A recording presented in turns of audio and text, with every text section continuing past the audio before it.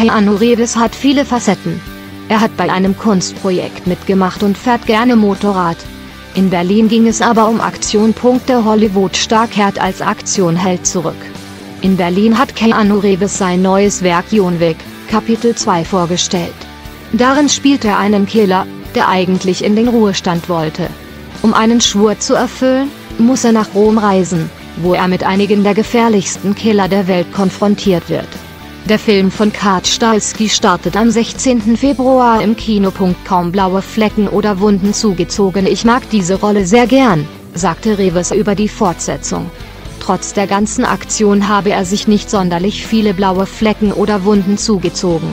Zur Frage, ob die Gewalt auf der Leinwand Gewalt im wahren Leben auslösen könnte, meinte der 52-Jährige, wenn du ein gesunder Mensch bist, nein.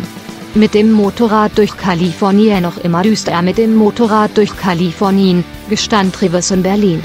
Er fahre aber wahrscheinlich nicht mehr so schnell wie früher. Eine junge Frau habe ihm in München mal das Motorradfahren gezeigt. Er komme nicht mehr auf ihren Namen.